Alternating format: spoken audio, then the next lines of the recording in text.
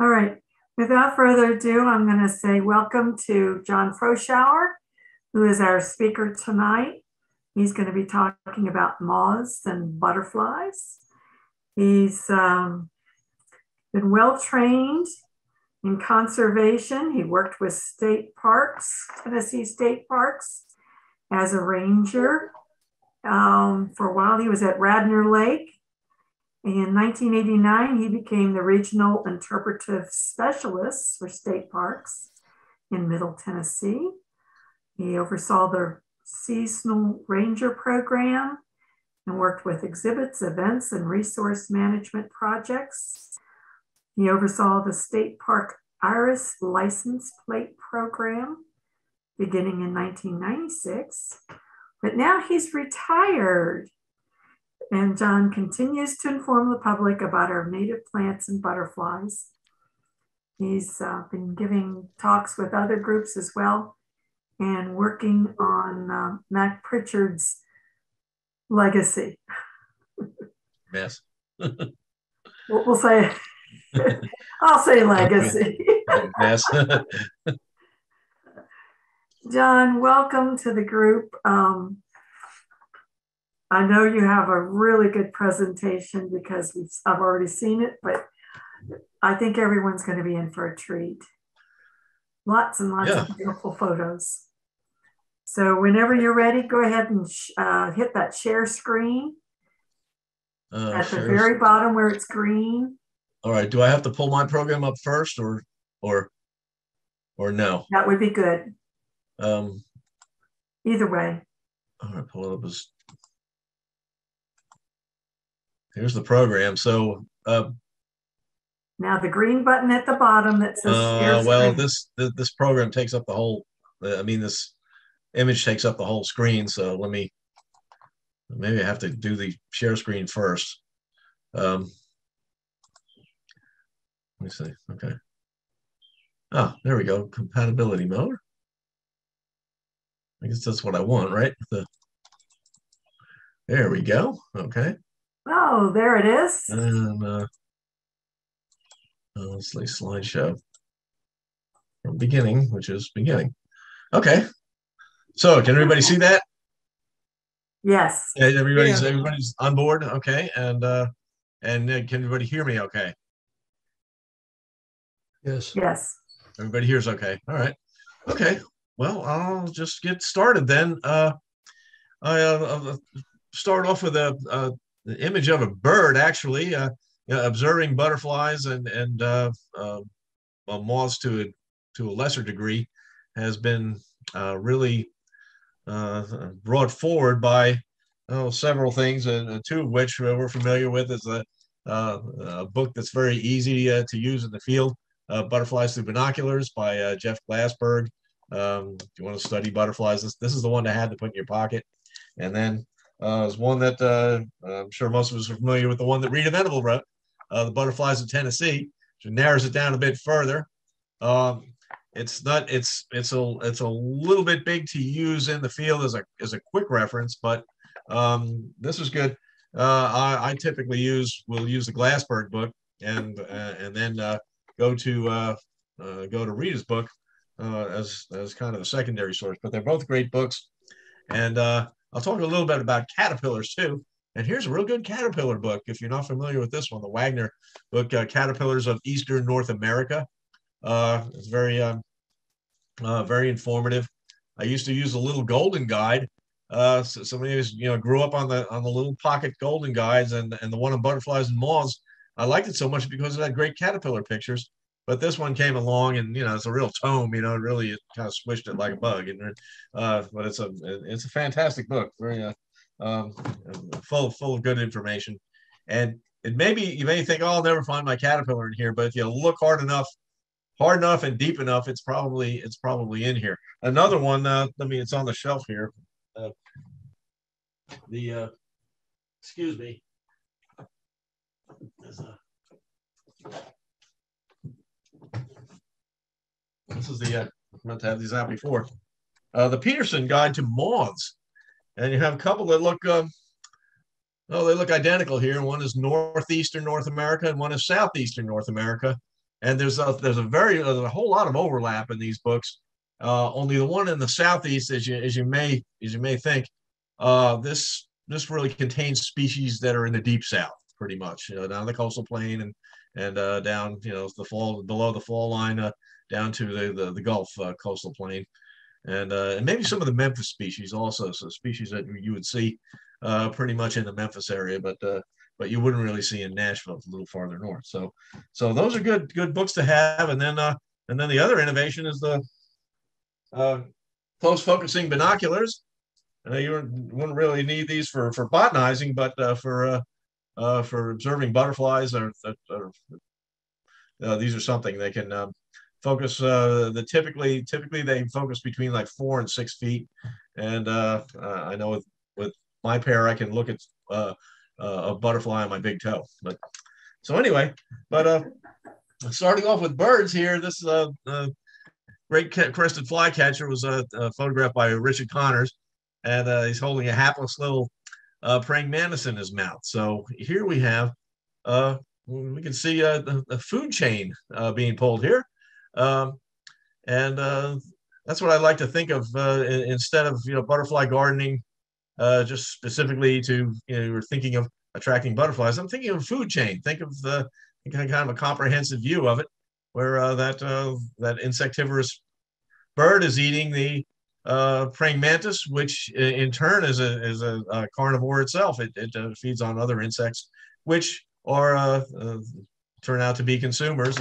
many of them feed on vegetation. So so it's great to have these things in the backyard and through through some of the things that I'll describe here and some of the things you know. So you're botanist, so you, will know a lot of this stuff already. Um, we'll um, see if we can get these food chains and food webs going in the backyard.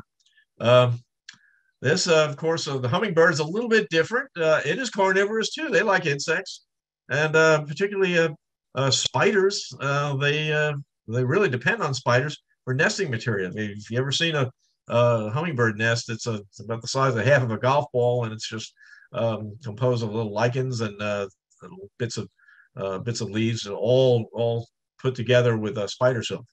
But they, of course, uh, are uh, nectar sippers also. This one going after the spotted jewelweed here uh, has a nice long beak and a long tongue. You don't see butterflies going after jewelweed that much, or this plant either. We know this one is a trumpet creeper, a great big tubular flower here that uh, butterflies can't get that coil proboscis into very easily, but but with his uh, his uh, bill, uh, long bill and tongue, uh, the uh, hummingbird can access it pretty pretty easily. So, uh, but we'll uh, look at some things that uh, that the butterflies can access. Um, first of all, this is usually usually a harbinger of spring. Um, one that you'll see um, well, as, as the days of winter uh, get uh, warmer in March uh, mid to late March, you'll see the mourning cloak butterfly um, um, flitting about. And it's not a big nectar butterfly. Not all butterflies are really go, going after flower nectar. Uh, you'll, you'll, sometimes see them on puddles, uh, in puddles or mud, sipping nutrients and salts out of the mud, or even uh, dog do. They, for some reason, they get things out of excrement. Uh, um, and uh, and this is one that uh, that tends to do that. And uh, this is one, you know, Bart, Bart and I were talking about the, uh, some uh, butterflies being rather fresh and some being kind of tattered. This one looks pretty fresh. Uh, it usually has one brood a year, um, but will overwinter. If it overwinters as an adult under tree bark or something, it might look pretty ratty when it comes out in the spring. And then I've seen, he's probably seen it too. You, uh, you see a very fresh one and then followed by a very tattered one. The fresh one probably overwintered as a chrysalis and uh, and they just so it's freshly emerged uh, in early spring. So that's something to look out for. Um, here's another one you'll see in spring. Uh, this is one of the the the angle wings here, very kind of angular wings, and it's called a question mark. And you might think I I used to think uh, uh, that the oops, excuse me uh, that this this little uh, curve here looked like a question mark, but it's not that at all. It's this mark right here, uh, which is uh, kind of a stylized question mark, which uh, gives it its name. And it's another one that you'll see nectaring in mud, or this is a, this was on the, the, the, side of the road at Montgomery Bell, uh, just uh, nectaring right on the right between the pebbles there, and probably picking up um, picking up some moisture here. And uh, so here's another one that you'll see in the spring. Uh, it also has a summer form that uh, in which the wings are a little darker too. Uh, it's second brood here, but uh, and, and these are this is one of the little brown jobs, the LBJs here. Um, this is this is called a wild indigo dusky wing, and I know Rita gave me at one time. I, I am going to find it somewhere. Uh, is a dichotomous key to dusky wings. That's how difficult they are to uh, to to uh, distinguish. Uh, there's another one that comes out in the in the in the early spring called a Juvenal's dusty dusky wing, and as sap flows into trees in in the spring, you notice the you might see a, a wood uh, woodpecker holes or other wounds just oozing uh, oozing sap, and you'll see a lot of these guys puddling. It's called puddling. They a whole bunch of them get on the uh, get on the wound there and uh, drink the sap from it. So, uh, so this is like the, dusky wings are part of a group called the skippers. And if you notice their their antenna, they're they're kind of spoon shaped. They're not uh, they don't look like little drumsticks. They're more like little uh, uh, little spoons. So that's the the dusky wings here. And here's our state butterfly. Uh, everybody should know this one, the uh, the the zebra swallowtail. It'll do a little bit of both. You'll see it on flowers, but you'll see it uh, down in the mud too, along with the along with the others. And um, it's uh, uh, it, it, comes along in early spring once the leaves of the pawpaw start coming out, and it's a that's its only food plant. And then here's a caterpillar right here, which is a rather rare sight. One way to um, one way to look for caterpillars. That's the way birds do it. Uh, uh, is uh, look for chewed leaves, very simply, and you might find the caterpillars. But I really I challenge you to find uh, uh, a zebra swallowtail on uh, on a pawpaw, despite having chewed leaves all over the place. They tend to feed at night, and they go down and they and they nest. They rest in the leaf litter during the day, and they come out in order to thwart predators. They'll come out uh, during night nighttime. Now this was at Burgess Falls uh, a few years ago, and if you've been up there, uh, the traffic islands uh, have been converted to, to butterfly plots, and they've uh, and they have a butterfly festival. And I was working; it was in August one year, and it was so hot. It was god awful hot. And I think what happened was the caterpillars were getting too hot, and they just came out. There were two of them that came out uh, on this um, uh, on this branch here, so I was able to get a picture of one here. And uh, we talked about complete metamorphosis. Butterflies go through complete metamorphosis. They hatch from an egg into the larva, the caterpillar stage, and then go into the, the resting stage of the pupa, and then uh, and then emerge as an adult here. And we can always tell uh, a swallowtail uh, chrysalis because it sits upright there. They uh, all caterpillars have the scent glands, the scent glands, uh, excuse me, um, uh, silk glands in their heads, and they spin a little dot of silk here. They stick their rear end on it, and then they, much like a window washer on a skyscraper, they have a, a safety belt that, that holds them upright. And they tend to look really anthropomorphic too. You see the little, little ears, looks like an eye and a nose. And uh, but note the coloration. I mean, it's, it's, it's a, a, real master of disguise here. It blends right in with the leaves, uh, complete with the venation on the leaves being uh, uh, um, being replicated. Uh, here's another um, another master of disguise. This happens to be a caterpillar of the red spotted purple uh, butterfly.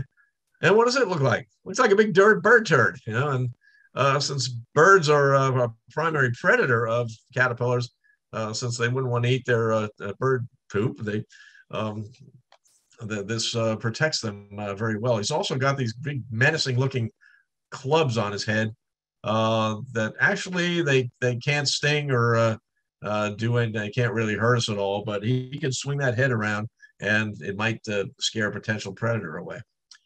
Now, um, also, this uh, this one is feeding on cherry here, and uh, um, you, may have read that uh, the wonderful book "Bringing Nature Home" by Doug Tallamy, and uh, and I've read in it, uh, and you may have read in it, where uh, actually oak trees um, provide the, the most food for uh, provide food for the most Lepidoptera species in the eastern U.S. So something like 350 six species or something uh, feed on oaks, particularly red oaks. And uh, you ever walk under a red oak tree during the middle of the summer and get start getting a little inchworm silk all over you, and they'll start crawling on your collar there. That's uh, that's why that that oak is feeding a lot of caterpillars, and uh, that is followed by willow, and then followed closely behind by cherry. So black cherry is a great, real workhorse of a, of a food plant to have uh, to have in the backyard.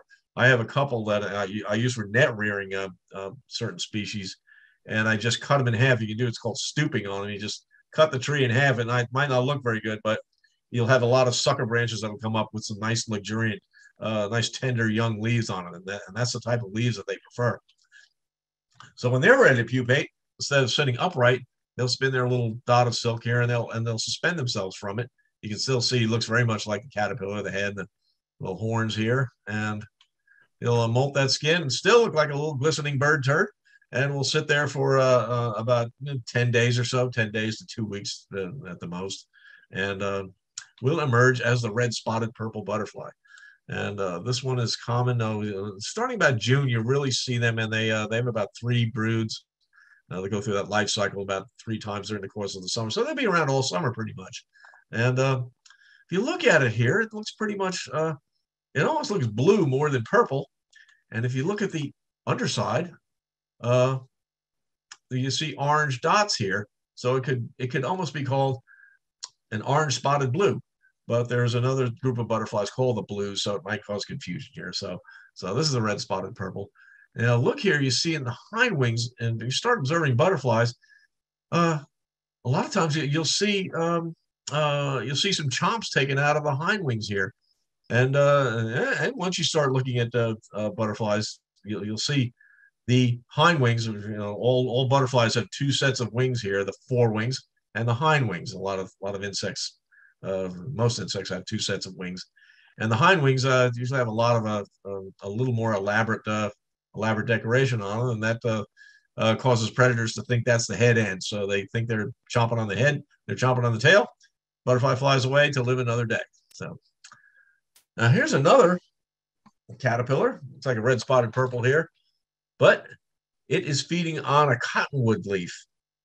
Found this over at uh, Ellington Agricultural Center, and if you uh, if you want to bring one of these one of these things home and uh, rear it, um, or if you're taking pictures of it, make note of what it is feeding on. That's very important because if, if you want to uh, if you want to raise it up in a container or something, you'll have to feed it uh, the food it was uh, the, whatever you found it on pretty much some uh, caterpillars um, can change food plant but most of them once they begin after a few days just feeding on one food plant they're pretty much hardwired to it excuse me and and so they have to stick with that uh, that plant uh, i've tried changing uh, food plants after you know a week or so and they'll, they'll, they'll starve before they they'll feed on a new food plant and then others I've uh, I've seen just switch right over to uh, uh to another food plant.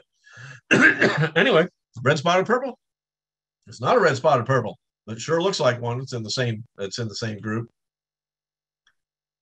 Is this uh is this a monarch? Excuse me. Um, a bit smaller than a monarch. This is the the monarch mimic, known as the viceroy, and uh, it's called the, the the post median band right here that uh, goes through the hind wing that the uh, the monarch does not have. So, but uh, this one, this one is uh, is edible, whereas the monarch picks up glycosides from uh, the milkweed that it feeds on and is poisonous. So this is a one uh, form of mimicry uh, that helps protect the uh, protect the viceroy. So, um, this we're probably familiar with this flower right? The Dutchman's pipe or the woolly Dutchman's pipe, uh, in particular in Middle Tennessee here. this is um, uh, this is one I, I, have in my backyard. I, I started butterfly gardening here, I guess about just about 23 years ago, and uh, I, love those flowers of the Dutchman's pipe here, and I got several feet, trees that are just covered with it now. Uh, you can see those vines that they've been on there a very long time, and they look very much like uh, um, like they do like along the Duck River or the Harpeth River, uh, pretty much just festooning the trees, and hanging down with those weird, weird seed pods there. But this feeds the pipevine swallowtail, and that's probably the most abundant uh, uh, butterfly that I that I get in my yard because I got so much pipevine here. Uh, and this is the uh, Aristolochia tomentosa. Um, The uh, there's one the macrophylla, I believe it is the the, the East Tennessee um, uh, species that is supposed to be uh, pretty much uh, confined to East Tennessee, but I found it in some property I have up in Macon County, which is kind of interesting. It's in the outer central basin. Anyway, here's the caterpillar of the uh, the pipevine swallowtail. And it looks like he's about to bust out of that skin. And they do just that. Much like a snake, they will shed their skin uh, four or five times. And they may change appearance dramatically, or they may stay looking like a uh, just looking the, the same, the way the uh, the pipevine, the swallowtail does. And uh, it's called an instar. Each time, um, each time they shed their skin, it's called an instar. But uh, they will munch away on the uh, pipevine leaves, and uh, eventually form a chrysalis. We can tell he's a swallowtail. He's upright here with his little safety belt here. Again, looking uh, looking like a little person there, ears and eyes and nose, and a very alligator-like tail. Very strange looking, and uh, they can sort of their color can uh, can uh, be a little different as well. It's got a yellow uh, here, but kind of remind me of those Easter Island statues. You know that those things with great big ski nose and deep set eyes there. Uh, um, but this is the adult. Uh, it's it's a rather small. It's kind of a, a medium-sized swallowtail, not as big as a tiger or a giant swallowtail, but has a sort of bluish cast on the hind wing. And if you get it in the right light, it's it's kind of green. So you look in old field guides. This is this is called a green swallowtail, and then they switched to pipevine swallowtail. I don't, I don't know when there, but what do we see it nectaring on. This is a thistle. Thistle. This is the Russian bully right here. This is the one we don't like. One the farmers don't like getting in their field here. But um, but uh, in spite of that, it is a good nectar plant. The thistles, of course, in a composite there, lots of little flowers. If they can land on it, they can sit on it for an hour and just uh, get all kinds of nectar from it. This is the caterpillar of our largest butterfly, the giant swallowtail, and it too looks like a big bird turd.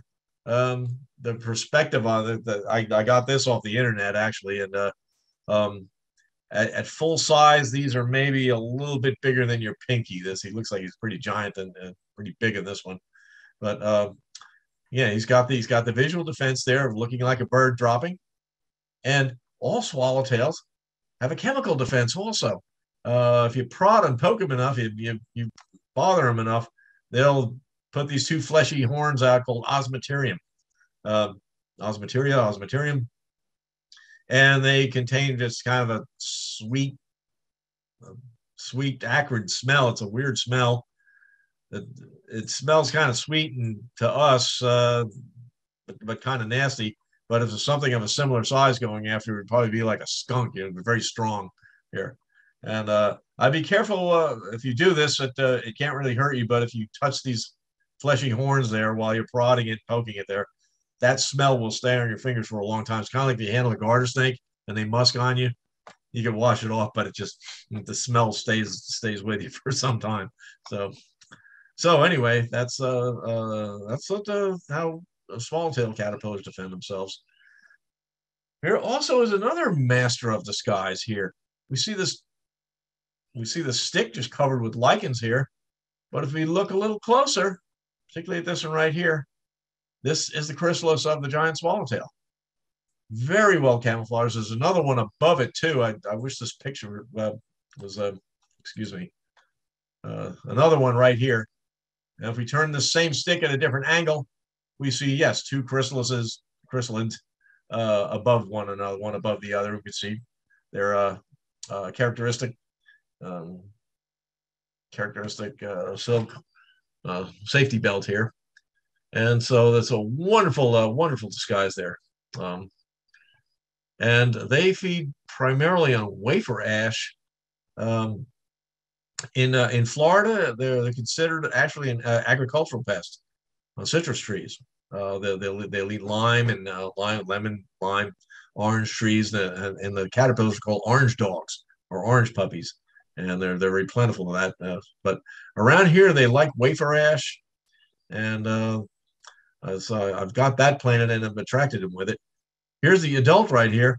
Very wide wings. This has probably a five inch wingspan, a very large wingspan here. And here we see it nectaring on Um, phlox divaricata, nice woodland phlox. And this is a but this is a butterfly. Uh, some you will see like only in open areas, kind of like birds. Some birds will only like one habitat. You'll only find them in one habitat and not the other. But this one you'll find in the woods as well as out in the open here. And uh, um, I guess mainly because you'll find that uh, uh, you'll find the wafer ash in the woods. Uh, hop tree is another name for it. But at any rate, uh, it looks like a bat flying around. So big, big kind of deep wing beat beats here. And uh, so in the middle of the afternoon, you think you've got a bat here. Um, this is thistle right here. And here's a giant swallowtail. We see the underside has a lot of yellow on it. Um, uh, whereas the top side just has those has those few lines here. Uh, but this is the good thistle. This is this is uh Cirsium discolor, the field thistle, um, which this is in my yard here, and this gets about eight feet tall or so, and it's a biennial. So when I, I started getting going, I would only see it every other year. But once I it started seeding itself pretty much, it shows up every year. Uh, but being uh, being a wildflower, it's kind of a free spirit. Uh, does not necessarily come up at the same place every year.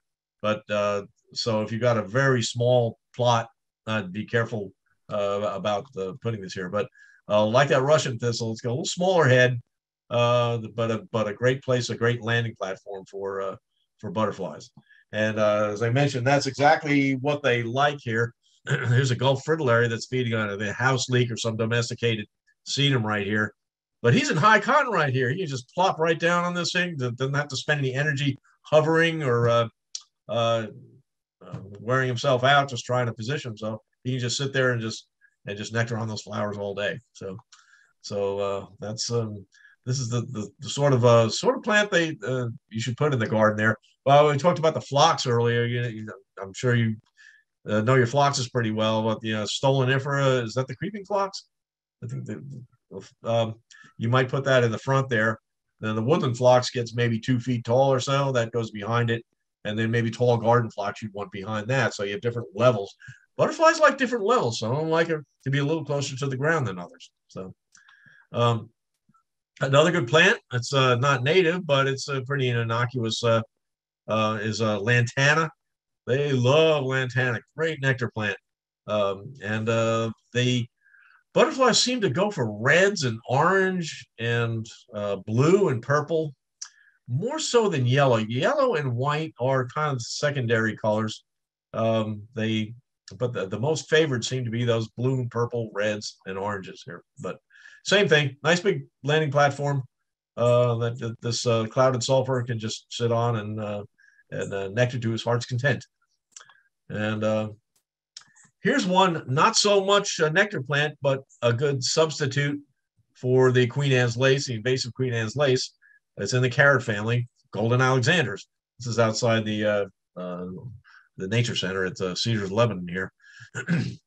this one, uh, if you look close enough, you might find the caterpillar to the black swallowtail on it. There's a little, a little characteristic saddle mark here, uh, feeding on feeding on the vegetation. And this is the first instar. He's about ready to uh, shed his skin, and uh, this is the I believe, I believe this is the fourth instar right here. Um, that he'll shed his skin once more, and this the, the, little band here will kind of be turned bright green in color uh, before he pupates there. And here uh, he's feeding on garden rue, uh, which which is exotic, and this is in my yard, and I've got it growing near some golden Alexanders, and they seem to prefer this to the golden Alexanders and also the giant swallowtails like this. And I've got some hop tree. I got several hop trees growing, you know, growing here and there, and they really go after this garden rue. So, uh, and uh, and I'm having a hard time finding it. I'd plant more. It's, it's you know it's pretty. It's not very invasive at all or anything, and uh, I'm in a little urban yard really. So, uh, um, if someone knows where to get it, please tell me because I'm having a hard time uh, finding it anywhere. And seeds as, as as well as as well as plants.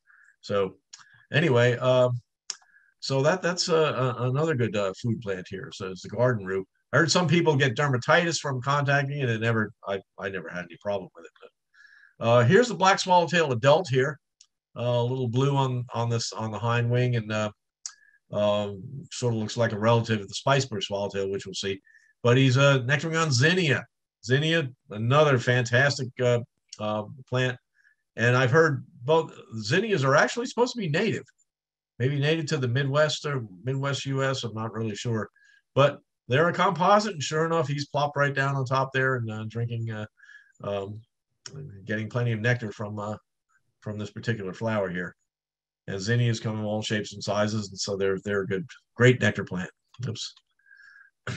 This uh this is one that's still around here. It's kind of it's kind of going out now. This is in the front yard here. I, I leave it up the, the Daisy fleabane, or maybe Philadelphia fleabane. And I forget which one here, but it is white, so that the, the butterflies aren't after it as much as they are the color, more colored flowers. But I leave it up there because they some of them do like it. So uh, I just mowed it down. Actually, it was starting to go out, so I just mowed it down the other day.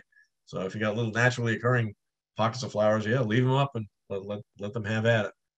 Um, and uh, this, I'm sure we're all familiar with this guy, the monarch caterpillar.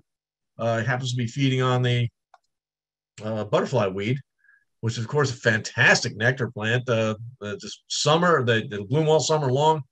Loves drought, very drought tolerant. Nice big platform of orange flowers that they really go after, and they eat the leaves too. Uh, the the butterfly weed does not contain the glycosides that the uh, uh, that, that the uh, other species of milkweed have, but it's still it, it's still a good you know uh, viable food plant for them. Uh, in uh, this part of the country, I've I've read that the common milkweed, the Asclepias syriaca, and incarnata, the swamp milkweed, are the two most favored food plants of the monarch butterfly. So, um, and uh, yeah, and here we have one uh, along with some little aphids that are feeding uh, feeding on that milky sap uh, also. Um, and we know, uh, oh yeah, this uh, another one. Milkweed, uh, gotta be careful how you use it because it's another, it's another free spirit. I planted this in my backyard and it would not come up and would not come up. way in the back where I have my butterfly garden. Well, where does it come up? In the front yard, and particularly right next to the walk here, or right in the cracks in the sidewalk. I don't know what I don't know what's going on here. It's uh, it's I think it's messing with me somehow. You know, it's just you know, we have one growing where it should right where I think it should right here, but yeah, so much of it grows here, and they'll get no, and these will get you know five feet high anyway, and they kind of bend over. But beautiful pink flower, so it's a good nectar plant as, as well as food plant. But again, it's gonna it's not gonna behave itself. So be uh, you know caveat emptor with the, this one uh, also. Uh, course, the clover, I try to leave you know patches of clover in the yard when I'm when I'm mowing when it's growing too, because that's a uh, there are a lot of the, the, small butterflies like to get on the clover, the little blues like clover, um, and uh, this is a this is called honey vine, uh, which is it's not like it, it's not an uh, vine milkweed like like anglepod is, but it's it's in the dogbane family I think I wrote down what it is. Um, I guess I I didn't write down exactly what uh, uh, what species it is, but it is in the dogbane family, and it's got uh, very smooth uh, milkweed pods. They're not spiny, they're not spiny looking, and not and don't have angly wings on them too. They're very smooth, um, uh, smooth in shape, and they, uh, uh, uh, what I've read about this is that monarchs don't eat it. Well, this is in my front yard here, and there's a monarch eating it. And I've seen it, I think, one or two instances before where, where I was pulling it up. It does get kind of weedy. And uh, I, I started pulling some of it up, and I found monarch chrysalids on it, chrysalids hanging from it. So apparently they're eating it. And the thing is, there's there's a, a common milkweed plant about two feet away from this. So I'm thinking the um, the the female that laid this egg uh, preferred this, uh, preferred to uh, um, actually chose to uh, oviposit on on this instead of the common milkweed. So I don't know what's going on. I don't know if anybody has got any other experience with uh, the, the, the honey vine uh, and this species, but um, but uh, don't pull it up. Keep it in the yard here because it, uh, it may be feeding monarchs for you. And of course, of that monarch chrysalis, just a piece of art. You know, the just this lovely gold spots all over it, absolutely gorgeous. And and of course they uh you know winter in the Gulf of Mexico. You know we have a, the California uh, population uh, wintering down you know down Southern California here, but the the ones here are uh, heading to central Mexico and uh, taking about three or four broods to go to get to the southern Canada and then back down here. And if uh, um, I guess Bart may correct me or not, but it seems like at least in this in this Middle Tennessee here, uh, it's it's uh, very much September, maybe late August through like mid September is when they're really coming through and they're breeding. Right now, we're coming through. I was we were talking about before. I had like five coming through. I did not see any oviposing at all. You know, if you watch these guys, they will curl their abdomen underneath and deposit a single egg uh, uh, on the underside of the milkweed leaf, and I did not see any of that. So, so they don't seem they, they don't seem to be interested in breeding here right now. They're I guess they're just continuing to go north. So, but come come September, they'll be uh, we'll start seeing the caterpillars. Uh, I mentioned, yeah, I was in charge of this uh, this Irish license plate fund for uh, 22 years. I guess I was the first administrator of it, and it's now being administered by the natural areas uh, people. So, um, and they've been um, they've been doing similar work with it in habitat restoration. We went from doing like simple landscape projects to doing something that had a little more meaning, like butterfly gardens, like the, the one behind uh, Cedars Lebanon. Uh, we put in with that uh, that funding and uh, uh, did a lot of uh, exotic plant removal with it. But anyway, you can see some garden phlox here growing with some hypericum, which is a yellow, nice uh, large yellow flowers, and cardinal flower, and uh, uh, quite a few other things in here. The you know Linda Robertson does a fantastic job with the with the Wilson County group in this particular place here, and of course milkweed just kind of just kind of doing what it wants to here uh, that's overshadowing the uh, uh, bee balm uh, or monarda, monarda, which is a good, uh, nice purple color here. Another good butterfly nectar plant. And we can't forget the grasses here. Grasses are very important food plants. Um, and I forget which one this is, a Panicum virgatum. Uh, oh, the uh, but the, there's so many uh, uh, so many butterflies uh, whose larvae feed on grasses. And there's a book on uh, the, the butterflies of butterfly gardening for the Southeast with special reference to Texas. And it has a really good appendix in the back. And the, the, the plant species that feeds the most butterflies in that appendix is Bermuda grass. And I'm thinking, oh God, no, no, no, not that. Spent uh, quite quite a bit of uh, quite a bit of time and effort getting rid of that in these gardens there, so it doesn't overtake everything. But uh, unfortunately, it feeds quite a few uh, species. This is uh, uh, you know purple coneflower, another great drought buster. You know, really loves uh, loves the heat of summer. Uh, nice landing platform. Uh, all different cultivars of this. You have one called Magnus, which has a great big great big flower on it. Uh, this is standing stone. Uh, they took a, a a playground that had some kind of wasn't really doing anything. Uh, had a tire swing and a, and a slide over here, so we took those off. And um, I got I worked with Mike Berkeley with Grow Wild uh, Nursery. Came up with a design here, and we put this uh, wisteria on it. We think, oh, wisteria, ah, this is the American wisteria, and it is a, a cultivar. It's available at the big box stores. Uh, called Amethyst Falls. And another one, be careful how you use it because if you take a look at this here, I regret putting that in this garden there because it's it's just as horrible, horribly invasive as the Oriental Wisteria. Uh, spent a lot of time just you know pulling skeins of it up. You know, you pull it, it runs right along top of the ground just like the Oriental Wisteria does. Uh, but it feeds silver spotted skippers. It's a legume, so it feeds lots of butterflies. Lots of butterflies like legume uh, leaves. Uh, but you can get the straight species. I, I think uh, Grow Wild is about the only place you're going to get them now. I, I'm I'm not up up on all the native nurseries as, as I once was. But uh, is Sunlight Garden still around? Up there, uh, you know, Marty Zinni, uh, uh Marty and Andrea, uh, uh, north of Knoxville. They used to sell the straight species here. I planted the straight species in my yard and it just kind of crapped along until it finally crapped out here. Um, then we put some of the amethyst, I, I planted some of the amethyst falls and it just kind of limped along.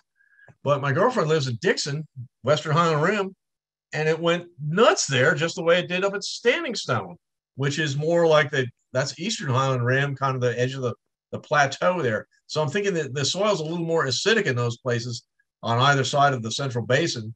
So if you live in those areas, be careful how you use this. And uh, I really should I should have put the straight species in here at Standing Stone. So just uh, think you may think in that direction if you're uh, considering using uh, uh, using a, uh, the American wisteria, Wisteria frutescens.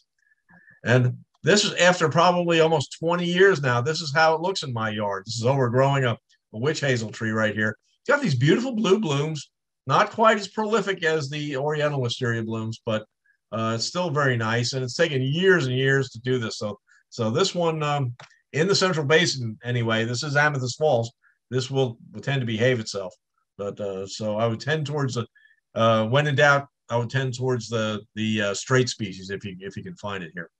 Now, this is the caterpillar of the silver spotted skipper. When they're real small, they'll take just a little section of leaf and they'll fold it and they'll use their silk there and they'll pull it together. And when they get bigger, they'll pull several leaves together and they're pretty easy to spot. excuse me, uh, uh, here. And they'll, um, uh, so they're kind of safe inside their little shelter right here, but uh, they all got to go to the bathroom sometime, and they and they produce uh, lots and lots of uh, fecula pellets known as frass. And as it accumulates on the ground below them, uh, birds birds are pretty sharp. They can't smell, but they can see this pile of frass below a tree, and they'll start looking up in the trees. They're pretty smart. They figure out that there's a big juicy caterpillar uh, up in the tree somewhere. So it and also wasps will actually actually pick up chemicals. They can actually smell what's in the frass and they can start going after the caterpillar here. But what this one does, he builds up a lot of pressure inside his body, stick his abdomen out, stick his rear end out, and can shoot a frass pellet 100 times his body length. It's very, uh, uh, and I've seen them do it. I've reared them in captivity and see that little rear end come out and he shoots it across the cage. It's uh, pretty interesting. And uh, so uh, that's one the way that the silver spotted skipper thwarts predators. But this was in Dickson here at my girlfriend's house and she was out there one day, and there's a very opportunistic rough green snake, who's here's our food chain right here, uh, really going after uh, systematically going from leaf shelter to leaf shelter, digging in and and uh, and getting the caterpillars. Wrens will do this too. They're not you know wrens, of course, you know, very uh, uh, very inquisitive, and they'll, they'll they'll dig inside these, they'll dig them out of the leaf shelters as well. So she ended up moving the moving the snake off. I don't think he was too happy about it, but um, she moved him elsewhere so he wouldn't eat every single uh, caterpillar up. Uh, and if it runs, uh, if it's able to run that all that gauntlet there, um, it uh, turns into the silver spotted skipper butterfly, one of the easiest skippers to identify here. It's rather large, has a nice silvery white spot on the uh, on the hind wing. Again, those little, little spoon shaped antennae here. This is nectaring on Joe Pyeweed. You know, Joe Pyeweed, another great a composite there, a nice big blending platform on a good mid to late summer uh, bloomer to have uh, to have in the yard. Um, and uh, here's a liatris, and it's another one. I've tried planting in the yard. and I've had trouble with liatris, and where I see it planted in other places, it does it does fairly well here. Another predator of caterpillars is a there's a wheel bug or uh, similar to an, one of the assassin bugs here. And like all true bugs, it has a proboscis that folds down, very rigid, and harpoons caterpillars and sucks the juices out here. And here, this one is waiting for a butterfly or something to come along that he can harpoon, uh, uh, just the way like a praying mantis would with his forelegs. There, you find praying mantises on these uh, on liatris as well. This is at Long Hunter State Park, and if you've been out of the deer trail there, uh, it's one. Pro- I noticed this growing between the successional cedar growth there and I had AmeriCorps crews come out. We, we cleared this whole field here. We even burned it.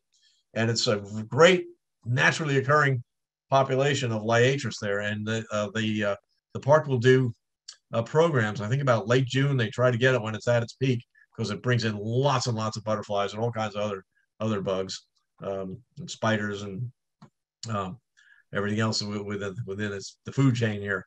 So that's that's a good one to have here. Um, speaking of spiders, here is a great big garden spiders in my yard. And he's a he's caught a uh, a nice big uh, tiger swallowtail. So if they're big enough, uh, they'll they'll uh, pretty much um, uh, they can pretty much take down a pretty large uh, butterfly. So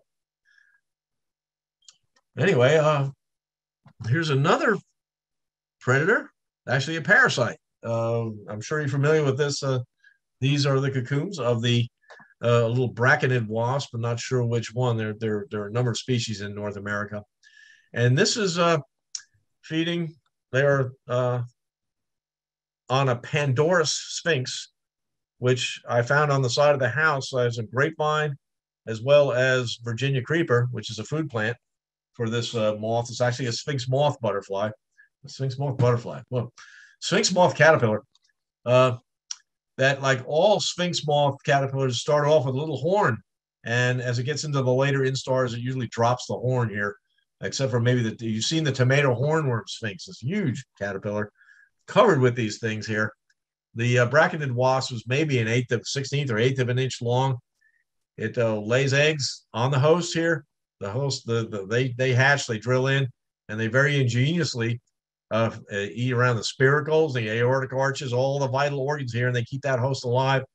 And uh, when they're ready to pupate, they pop right through the, the skin there and spin their little silk cocoon. And you might think, oh, I can save this guy. I'll just pull all those cocoons off and he'll live. Nah, he's toast. He's completely rotten, rotted out inside. He's not going to live much longer. So, anyway, uh, but speaking of moths, I'll kind of move on to moths a little bit. Uh, this is the caterpillar to our largest moth, the Cecropia moth. Uh, some people call it a robin moth now because it, it, kind of is colored like a robin, uh, but it's a um, it, it's a, a, a, very large caterpillar. so, you know, spikes spikes on his head. Uh, starts off as a little black bristly thing, then has yellow on it, and it just keeps uh, changing as it as it uh, gets into the, the mature stage here. This one's feeding on cherry. Another one that loves cherry. Uh, they'll also eat box elder. They'll eat uh, uh, elm, uh, persimmon, uh, even buttonbush. so, and when it gets ready to pupate, it, it has one brood a year. It, it, spins a very elaborate cocoon with over a mile of silk in it, and spins an outer cocoon, and then a very very tough inner cocoon that you can, of course, you can't see here. But uh, yeah, there's over a mile of silk in this thing. And you think, okay, well, we have got a silk industry here. Um, not so. It, it's not laid down in one continuous strand the way the Oriental silkworm is. So it, yeah, they, they they they attempted it um, with several species. In fact, they brought uh, a species to the United States for the silk industry called the Cynthia moth. Uh, it's one of the it's one of the Saturniids, uh, Saturniidae moths uh, in this family, and uh, it never really went anywhere. And there's a feral population of it in the Middle Atlantic region around the Baltimore area in the in the, the, the middle Atlantic states right uh, right there. And um, I've never seen one in the wild, but they're uh, uh, they're supposedly around that uh, focused around that Baltimore area. They may be in another area too. I'm not sure. But anyway, it comes out. This is beautiful, uh, six inch wingspan. Um, and as with all the the Saturniids there, these hind wings have uh, um, these big eye spots on them. If you turn it over, what does it look like? It looks like an owl. And of course, these are favorite food of screech owls. Screech owls, of course, a small owl, love cicadas, katydids, you know, insects uh, that are up in the trees here at night. Um, and uh, so this is one way it protects itself. The uh, if moths cannot hear, but they have very uh, they they pick up vibrations, and when they they feel vibrations of, of, of, of a potential predator, they'll spread those forewings out and will display those hind wings, and, and it might scare away uh, a screech owl. Um, so they're um, let's see, quite quite a quite an elaborate defense here. And uh, these guys do not eat.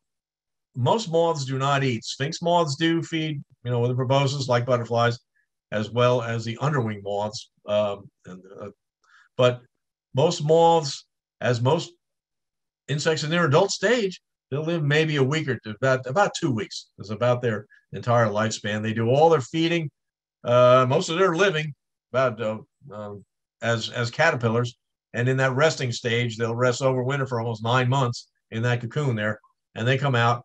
The female will uh, send out a pheromone that the male picks up with his very large feathery antenna that contain chemoreceptors, and uh, they will get together. And you can see she is full of about 250 eggs, and so his abdomen is, is considerably smaller.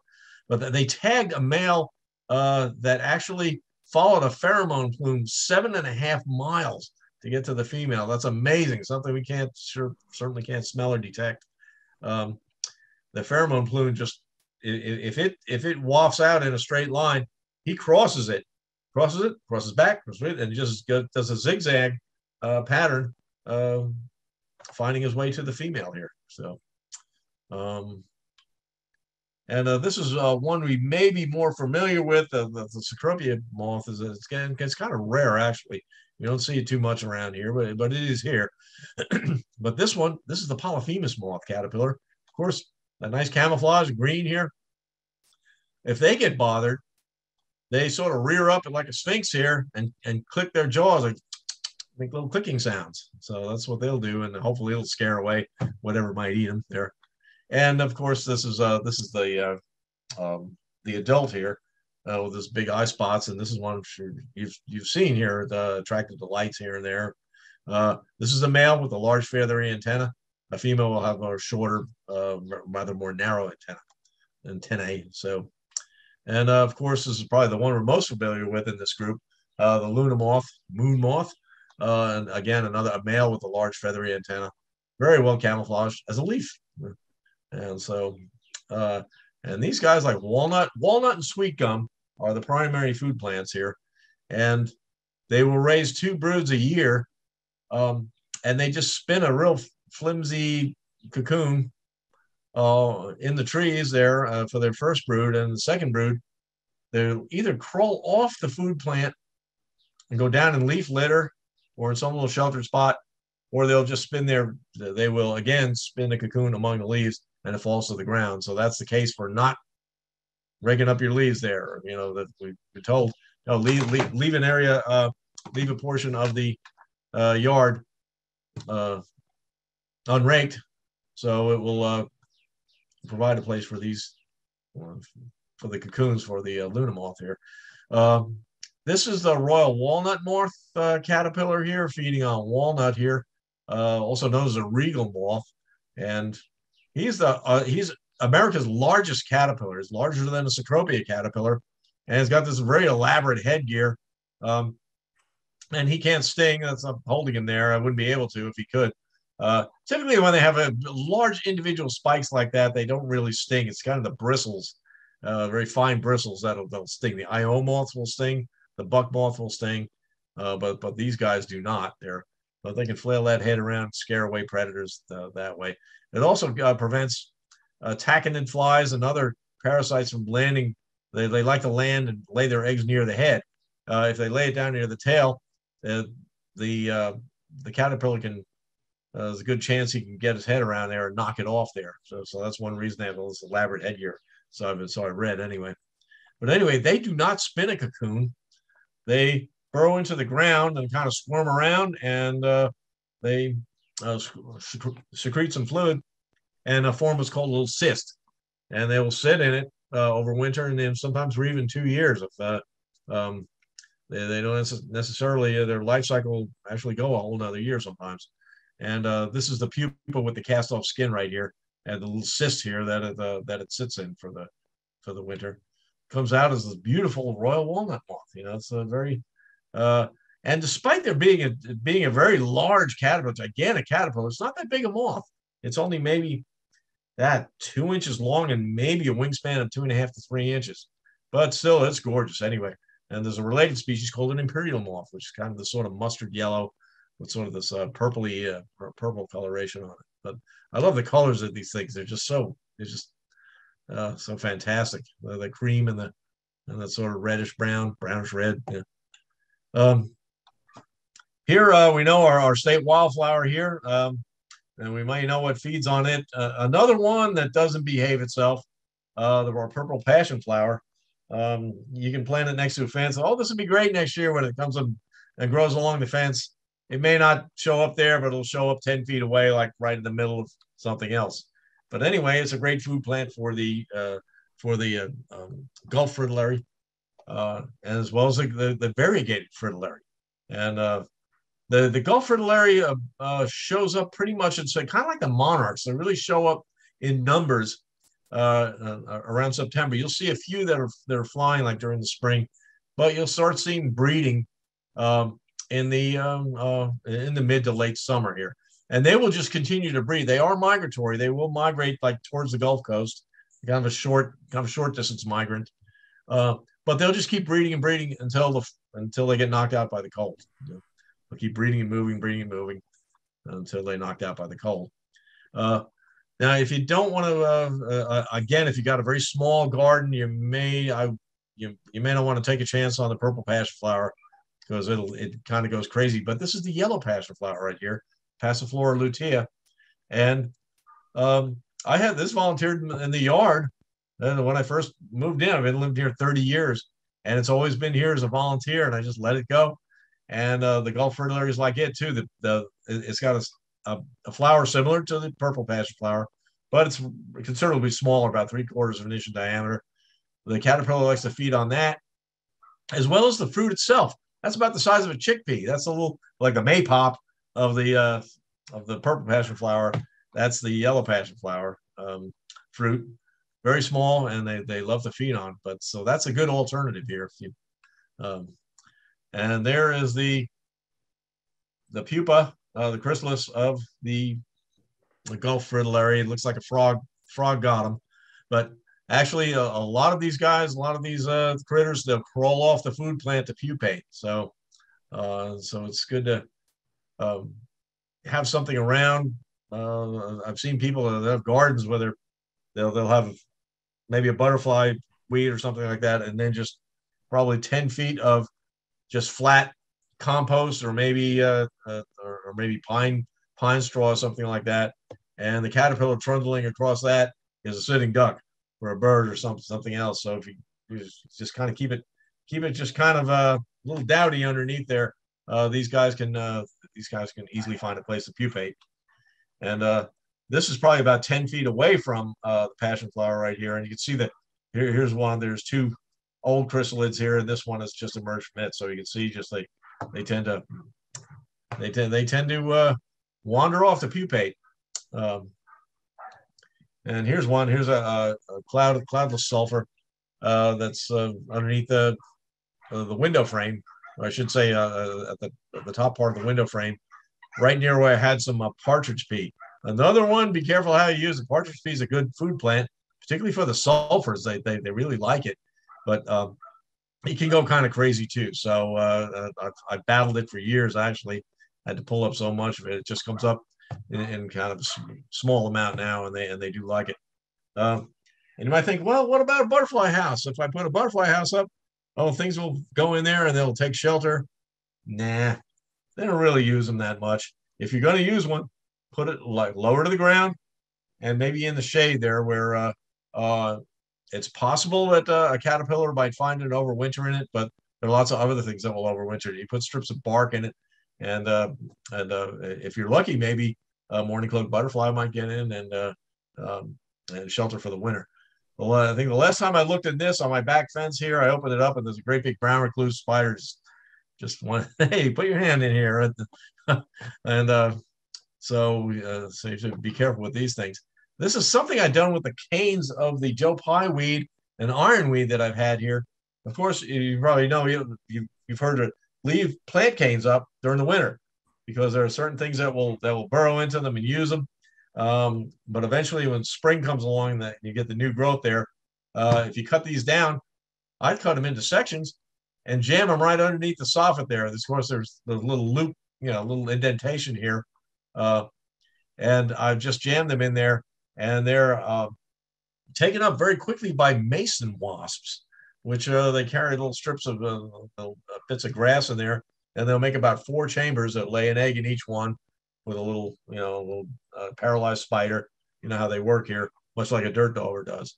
And then eventually, in the winter, uh, uh, woodpeckers will start going after and start pecking into these things. Uh, you have to replace them every so often because they'll just start falling apart. But uh, uh, that's uh, that's something you can do for the little wasp there. Unfortunately, wasps feed the feed on caterpillars, so right, not the greatest thing to have in a butterfly garden. But you know, think of the whole the big picture and the whole food chain here. This is wild senna, another good um, food plant here, uh, a legume here. And uh, this this is either a cloudless sulfur or maybe a sleepy orange. Not sure which. Some of these some of these uh, uh, chrysalids are hard to tell apart. But these seed pods turn brown actually. And if you could imagine this being brown, this this uh, chrysalis just becomes part of the of the seed pod. That's pretty neat camouflage right there. So uh, so wild senna, senna marilandica. Um, and speaking of sleepy orange, here's some sleepy orange butterflies puddling, and we wonder, well, how do they get their name? Yeah, uh, a lot of butterflies they'll have a call an eye spot uh, on, on their wings, um, and these guys instead of having spots, these guys have lines that resemble closed eyes. So they're sitting there puddling away with their eyes closed, but um, but they could certainly see with their compound eyes.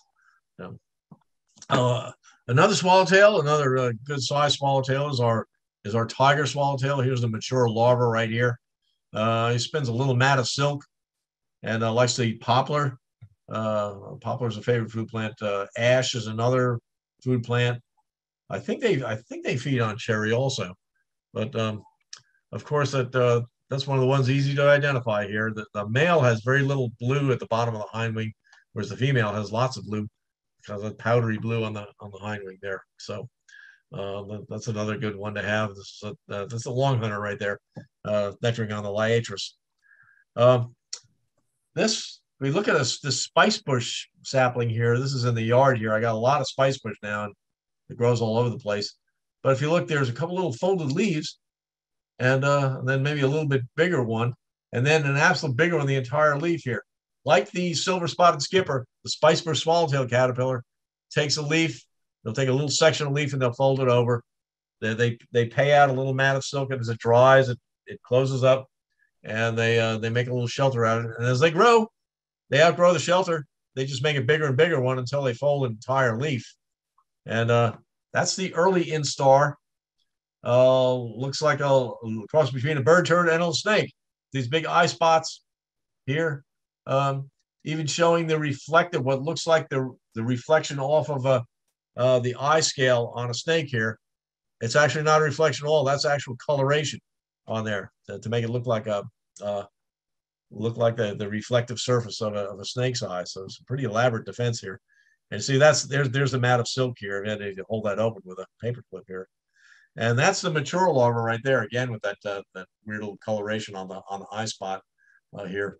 and they have those osmeteria too. You, you, bother them enough, they'll stick their horns out there. But uh, um, they emerge into the spicebush swallowtail. Of course, uh, one way to tell if you get to look at these things, particularly in your binoculars here, you know these uh, these spots, these hindwing spots. The third one up looks like a little meteor. That's one way to to remember this guy here. Uh, looks like a little comet or a meteor here, and it's uh, nectaring on the uh, cardinal flower, another great flower for both hummingbirds and butterflies here. But uh, I think you have to have kind of wet area to really have a, uh, have successful be have success with cardinal flower. um, uh, here's the uh, our uh, coral honeysuckle with a, a, hummingbird feeding on it. of course, Richard Connors took that picture. I, I did not. Um, we look a little closer. It is actually the food plant of the snowberry clearwing uh, sphinx moth. Of course, it's a sphinx. It's got a little horn on its on its abdomen here, uh, which cannot sting at all here. But they feed on the leaves there, and they become one of the clearwing moths, which is a great bumblebee mimic. Here's a male. This is probably the female on this side here. Looks a little bigger than, than this one here. Uh, this, is a, this is about the most common of the clearwings. There's about half a dozen species of clearwings in, in, in Tennessee. And here's one that's uh, nectaring uh, on liatris and looking very much like a, a hummingbird. Sometimes they call hummingbird moths. Uh, but more, it's more a real bee mimic than anything. And uh, they're wonderful to have around. So And if you look closely, you might find some really weird things. It was the summer before last. I'm walking in my driveway, and again, I have a couple of hackberry trees.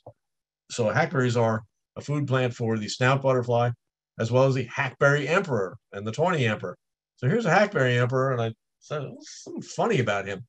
You look at his, he's got the head of a caterpillar, and sure enough, that's a better shot right there.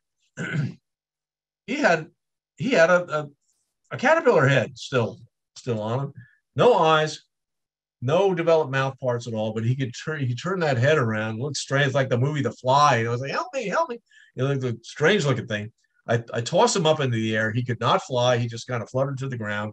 He had one, and, and instead of six uh, legs, he's got he had four and a couple like um, not very well developed ones right here. So I got some good pictures of him, and uh, I uh, I sent him to the McGuire uh, Center for Lepidoptera and Biodiversity at the University of Florida. Uh, it was, was, recommended by Michael Byerly, actually.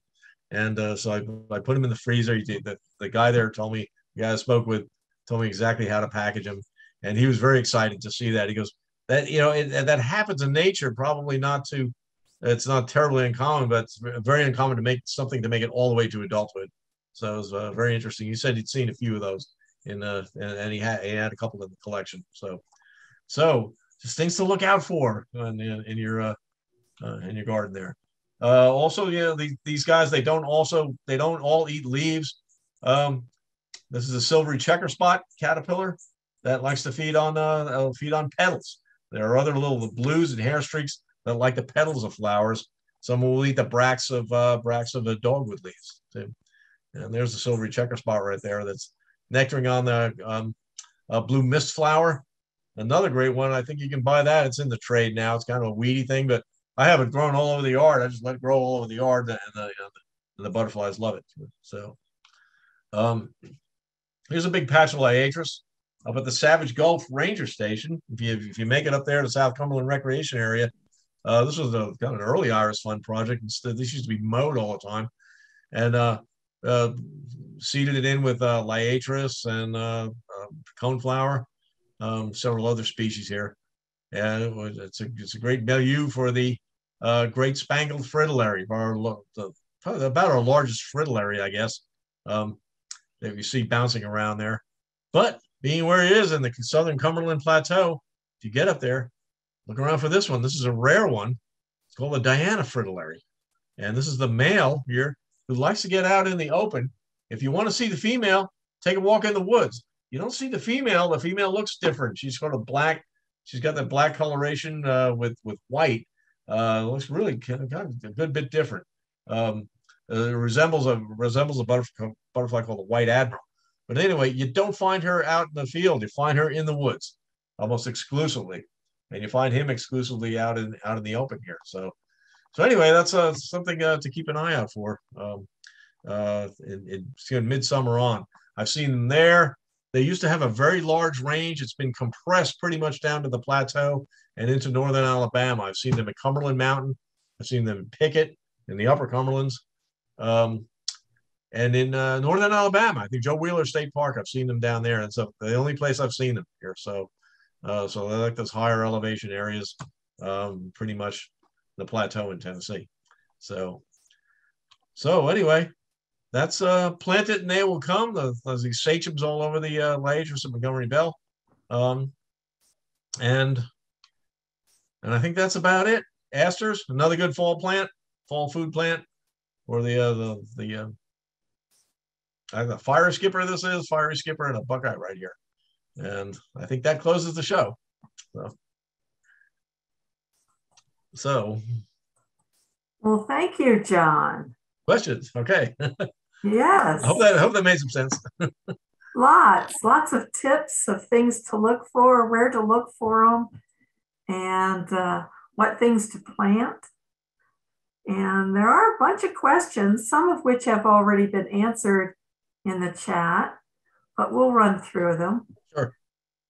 Um, maybe Bettina, you'll help me a little here. The first question is wafer ash a kind of ash tree? Um, apparently not. It's a what in the Rutaceae, or citrus family? Uh, Oh, then in well, Margie chimes in with um, uh, Ptelea trifoliata, yeah, exactly. wafer Yeah, yeah. ash, it's- or hop tree is not. right. It's not. It's not a. It's not an ash tree. It's not a fraxinus. Yeah, it's a Ptelea trifoliata. Um, I think it's its own. It's its own family, I believe. I, I don't know if it has any other relatives. Mhm. And then uh, what was it? What was the question about the citrus? Did you say? The, the, No, that uh, citrus family. It's is in it the citrus cit- family? Uh, I I don't think it is. I, I believe it's its own family. I, I believe Okay. like the Teleaceae, something like that. I, I may be wrong on that, but uh, I haven't looked in a while. But um, but yeah, if you have an orange tree of some kind of citrus in your yard, you know that the um, I would, I would think that they would feed on that also. But again, that garden rue, if you can find it, uh, that's another good food plant for for the giants. So, Another one was the, uh, the zinnia na- is native to Texas, but not Tennessee. ah, okay, yeah, I I, I figured I thought it was more more to the west here. Uh, uh, Mhm. And there's there's another one like that. I want to say, and it was put in that Savage Gulf uh, thing. I didn't know was put in the mix there. Is it Indian blanket? Is it Indian blanket found in Texas? But I know it's not here. It's not native here. But uh, uh, that's another one. ano- Another good plant. Another good uh, nectar plant. Anyway. Yeah. Okay. Well, it's good to Uh, know about zinnia. Yes. Another uh, one is uh, do ze- zebra swallowtail larvae fold the leaves on pawpaw trees?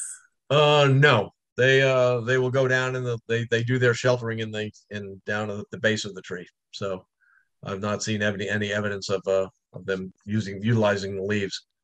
But you'll see the chewed leaves. You will see the you will see the chewed leaves. Yeah. Bart said it thought that they do when they're smaller. Oh Art? well. Uh, well, uh, yeah, okay, that may be true. I've reared them when they're small, and actually, we were talking about uh, cannibals earlier, uh, or uh, uh, carnivorous, uh, um, carnivorous caterpillars. You have to rear them separately because they will eat each other. The uh, the pawpaw, I mean the uh, yeah, zebra swallowtails are known for eating each other.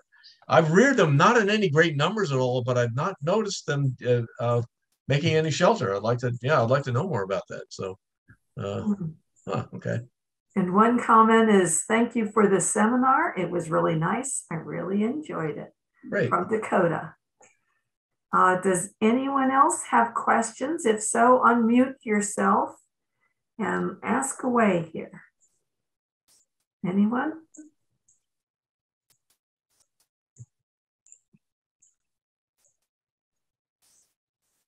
Okay, Oh, silence. They must have asked all okay. of I your must, oh boy, I guess we covered all the bases. And Ptelea and Garden Rue are both in the Rutaceae. ah, okay. Yeah, I'm corrected then on that. Um, Rue Well, and- a citrus family of fou- fla- fou- flowering plants. no, that's interesting. Okay, so that makes sense that they would like it. Um, and it's funny that the black swallowtail likes the rue also, when it's normally has that affinity for the you know the carrot species, you know the wild carrot and the uh, the Alexanders and and so on. So, um, I don't know. Is there anything else that black swallowtails eat? I don't know if you if whether Bart could answer that, but uh, I don't know. I don't, I I don't know. I don't know. feeding on any trees at all. But, uh, but um, I haven't I haven't seen them use anything other than carrot family members really. right, right. Uh, I think maybe in a garden situation, you might get something weird. Mm-hmm. But yeah, I've I've not seen them uh, anything other than just yeah, Queen Anne's lace and golden Alexanders. That's about it. And then the garden rue, of course. Yeah, so, so And dill and parsley. yeah, part of yeah, the- yeah, because of course the fennel and the dill and any of those uh um any of that family.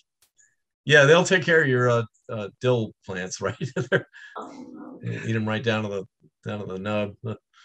So If anyone's looking for plants, there is a plant sta- plant sale at Cedars of Lebanon on this Saturday coming. Um, they had their annual plant sale. They've separated it from the Elsie Quarterman Festival. So Saturday, this coming Saturday is plant sale at Cedars of Lebanon. Um, I'm trying to remember, I think it's like 10 to 3. So it's, and it's a native, I think it's pretty much native plants, if not all. So Yeah, it's pretty it's much it's pretty exclusively native. Yeah, that it always has been. But Yeah, it's it's a good little sale to go to. So if anybody's looking for specific plants now, that'd be a good place to hit if you're here in Middle Tennessee somewhere. Um, well, thank you very much, John. But that was Okay. that was interesting, intriguing, and great pictures. And really thrilled that you joined us. Um, it's, Yeah, it's lovely. Yeah, if any other questions or comments come out, you have my email address if you want to you know pass that along if anybody else any Okay, I'll be. questions I'll came to come to mind or anything but Okay. I can't answer. Bart could probably answer it. I would imagine. So Well, a lot of folks have specialty areas where they Right. might know just a little bit more than a lot of others. And uh, some know a lot about a lot of things, like Bart.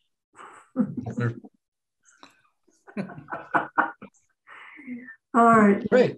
Lots of messages for um, loved it. Thanks. Thanks for a very interesting talk.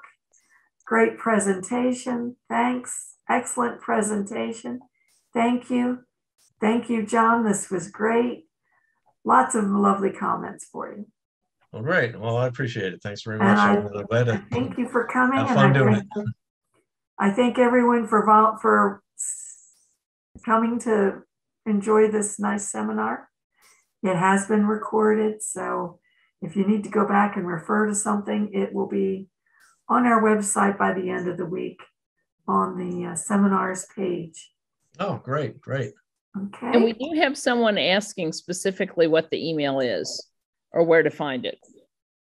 Um, well, you want to want to rattle it off, and I'll put it in the chat box. Otherwise, I'd have to pull up my email program. So what's your email, John? It's a, a JD is in Daniel. F is in Frank. R O E S C H. So that's uh, J D F R O E S C H at yahoo.com.